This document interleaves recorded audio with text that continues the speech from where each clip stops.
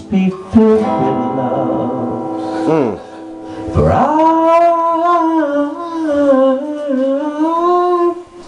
I was not the one who knew what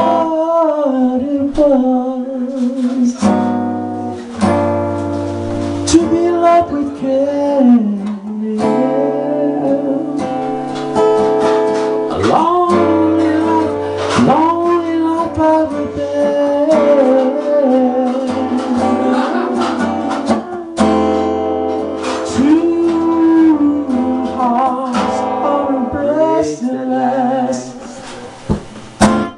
glad I found that girl and I'll forget the past. And it's just a lovely